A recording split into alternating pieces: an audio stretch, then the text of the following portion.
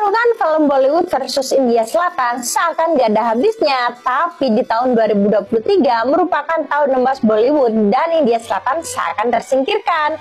Kali ini aku akan ngebahas film tersukses India Selatan sepanjang tahun 2023. Apa jelisnya? Yuk langsung kita bahas.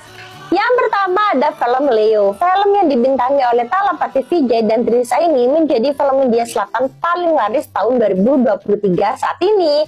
Film ini dirilis pada 19 Oktober 2023. Film ini menghasilkan pendapatan 1,4 triliun lebih di box office, padahal budgetnya hanya 700 miliar. Yang kedua ada film Jailer. Walaupun usianya sudah tak muda lagi, Talaifa Rajinika tetap menjadi aktor yang sangat dicintai. Terbukti nih, dengan filmnya yang dirilis pada 10 Agustus 2023 mendapatkan sambutan yang luar biasa dan sangat sukses di box office. Film ini juga dibintangi oleh Ramya Krishnan dan beberapa bintang tamu yang sangat terkenal seperti Tamanah Batia yang bikin lagu di film ini sangat populer yaitu lagu Ada juga Mohanlal, Jackie Shroff, dan Siva Rajkumar. Film ini berhasil mengumpulkan 1,3 triliun lebih di box office, padahal budgetnya hanya 400 miliar. Yang ketiga ada film Salar, film yang lagi menjadi bahan pembicaraan. Film ini dirilis pada 22 Desember 2023, dibintangi oleh Prabas, Ruti Hasan, dan Prispira Sukumaran. Film ini masih tayang di bioskop dan bisa saja menjadi film India Selatan yang paling sukses mengalahkan film Leo. Film ini seminggu penayangannya berhasil mengumpulkan 1 triliun, padahal budget filmnya 800 miliar. Kita tunggu saja ya hasil akhir dari pendapatan film ini.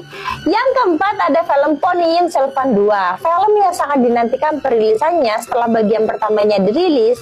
Film ini dirilis pada 28 April 2023 dibintangi oleh Vikram, Aishwarya Rai, Yaya Merafi, Karti, dan Trisa. Film ini berhasil mendapatkan pendapatan 700 miliar di box office. Yang kelima ada film Farisu. Film ini dirilis pada 11 Januari 2023 dibintangi oleh Talapati Vijay dan Rasmika Mandana. Film ini berhasil mengumpulkan 620 miliar sedangkan budgetnya 560 miliar. Yang keenam ada film Walter Feraya. Film kedua Shruti Hasan yang masuk list ini dirilis pada 13 Januari 2023 dibintangi juga oleh Jeffrey dan Raffi Teja. Film ini berhasil mengumpulkan pendapatan box office 473 miliar, sedangkan budgetnya hanya 280 miliar. Nah, rilis film ini, yang mana nih film yang sudah kalian tonton dan menurut kalian yang paling bagus di antara list film ini? Tulis di kolom komentar ya.